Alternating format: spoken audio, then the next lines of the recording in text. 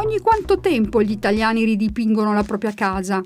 C'è una parte della casa che magari rimane più a lungo per non essere ridipinta, quindi quella che si tratta del colore base che possa essere il bianco il bianco caldo, però negli ultimi anni c'è sempre molto di moda da fare una parete a cieno con un colore forte, una decorazione forte e questa viene per fortuna ricambiata molto spesso anche perché dà nuova energia all'interno di una casa.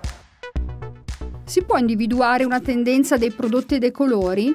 Nel nostro settore le tendenze ci sono a lungo termine per quello che riguarda eh, l'insieme o la parte più grande di un edificio, sia che sia un interno, sia che sia un esterno, sia che sia una casa privata o che sia un albergo. La maggioranza dei pareti non si dipingono tutti i giorni, quindi non c'è la stagionalità. C'è una parte particolare che possa essere eh, una parete all'ingresso, possa essere la reception di un albergo, che questa invece viene rinfrescata più spesso per dare anche energia nella casa, allora lì possiamo parlare di tendenza.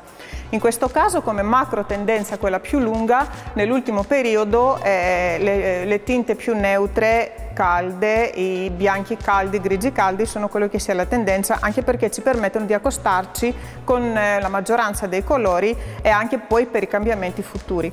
Per quello che riguarda invece eh, i colori di, di tendenza, più che altro le finiture e i tatti, le texturizzazioni, la varietà nei materiali e nelle luci dei materiali è quello che adesso prende sempre più piede. C'è attenzione per l'impatto del prodotto sull'ambiente domestico? L'utente privato che sia professionista che sia è sempre più informato riguardo al tipo di materiale, all'impatto ambientale e ne vuole sapere di più, richiede informazioni sempre più corrette dal punto di vista de de dei prodotti che utilizza, quindi dai produttori, su eh, che impatto hanno i prodotti, se sono inquinanti o non sono inquinanti, che materie prime utilizza. Gli utenti professionali e i clienti privati hanno richieste simili o differenti? Se qualche anno fa eh, questa differenza, la forbice era molto più ampia, ultimamente si sta restringendo notevolmente e sempre con maggiore consapevolezza. Prevale il fai da te o l'impiego di operatori professionali?